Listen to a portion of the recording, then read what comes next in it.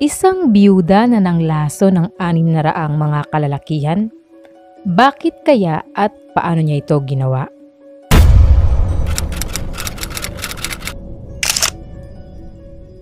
Gilia Tofana Maaring ngayon mo pa lamang narinig ang pangalang yan.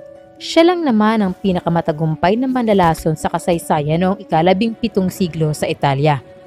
Sapagkat daan-daang mga kalalakihan ang kanyang napatay noong mga panahong iyon sa pamamagitan ng panlalason sa mga ito. At ginawa niya ito sa loob ng mahigit limampung taon nang hindi nahuhuli. Noong ikalabing pitong siglo sa Europa ay usong-uso ang arranged marriage o sapilitang pagpapakasal. Ang pag-aasawa noon ay karaniwang na inaayos lamang ng mga magulang o mga kamag-anak. At sa oras na ikaw ay maikasal ay wala nang paraan pa upang ikaw ay makipaghiwalay sa iyong napangasawa. Kaya't ang tanging paraan labang upang makalaya sa nasabing kasal ay walang iba kundi kamatayan. Noong mga panahong iyon pa naman ay walang kapangyarihan ang mga kababaihan dahil once na maikasal na, ang lalaki lamang ang may kompletong kontrol sa kanilang mag-asawa. Na kahit sila ay pagmalupitan o busuhin ng kanilang mga asawang lalaki ay hindi maharap sa anumang kaparusahan ang mga ito.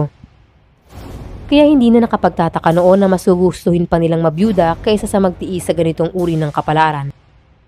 At yan ang ginawa ng paraan ni Gilia Tofana. Si Gilia Tufana ay isang byuda na nagmamayari ng isang cosmetic shop. Nagtitinda siya dito ng mga pampaganda at gayon din ng mga pabango at isa sa pinaka-espesyal niyang paninda ay ang Aqua Tufana. Ito ang inuming tumulong sa mga kababaihan noon na makalaya sa kalupitan ng kanilang mga asawa. Ang inuming ito ay maaring makapatay ng isang tao sa pamamagitan lamang ng ilang patak. At ang bisa nito ay ilang araw o linggo bago umepekto dahilan para hindi malaman ng mga doktor ang sanhi ng pagkamatay. Ang pangunahing sangkap ng inuming ito ay ang arsenic, isang nakalalasong kemikal na ginagamit ng mga kababaihan na pampaputi ng balat.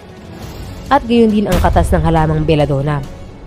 Ito ay walang lasa, walang amoy at animoy tubig lamang. Ito ay isang perpektong laso na inihahalo sa isang baso ng alak o anumang inumin ng hindi nahalata. Inilalagay niya ito sa isang maliit na lalagyan na may imahe ng isang santo.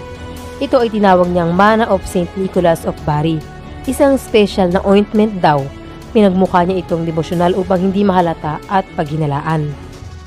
Naniniwala siya na natutulungan niya ang mga kababaihan na hindi masaya sa kanilang buhay mag-asawa sa pamamagitan ng pagpatay sa mga ito. Ngunit alam naman natin na ang lahat ay may katapusan Isang araw nga nang ang kliyente ni Julia ay bumili sa kanya ng aqua tufana at iniuwi sa kanilang bahay, inilagay niya ito sa sabaw na iinumin ng kanyang asawa.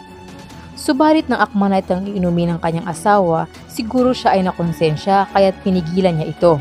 Dahil dito ay nagtaka ang lalaki kaya't siya ay pinaamin kung ano ang kanyang inilagay sa sabaw. Umami naman siya, kaya't dinala siya ng kanyang asawa sa mga otoridad doon ay pinaamin din siya kung saan niya nakuha ang naturang lason. At sinabi nga niya na ito ay nabili niya kay Gilia Tofana. Agad na nakarating kay Julia ang pangyayaring yon. At dahil nga alam niyang siya ay aarestuhin, dali-dali siya nagpunta sa simbahan upang doon ay magtago. Kalaunan ay kumalat na ang balita sa buong Roma. At sinabi pa ng ilan na nilagyan daw ni Tofana ng lason ang tubig sa buong Roma kaya't ang mga tao ay nagtipon at sumugod sa simbahan kung saan siya ay nanunuluyan. Isinuko naman siya ng simbahan. Kinuha siya ng mga otoridad at pinahirapan. Doon ay inamin niyang mahigit anim na raang kalalakihan ang napatay ng kanyang Aqua Tofana mula noong taong 1633 hanggang 1651. At doon ay nadiskubre din nilang si Julia ay anak ni Tufana di Adamo na ipinapatay sa Palermo, Sicily Island noong 1633 matapos siyang maakusahang nilasor ang kanyang asawa. Kaya't pinaniniwalaan ang kanyang ina ang nagpasa sa kanya ng mga sangkap kung paano gumawa ng naturang lason. Kahit si Julia mismo ay isang byuda rin at pinaniniwalaan din ni Lason ang kanyang sariling asawa.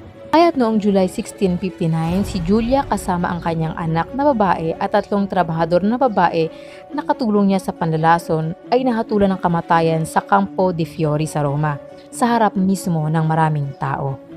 Matapos mahatulan na Julia ay ilan din sa kanyang mga kliyente ang nakulong at nahatulan din ng kamatayan. Kahit na sila ay nagmaang-maangan at sinasabing hindi nila alam na ang Aqua Tofana ay lason pala.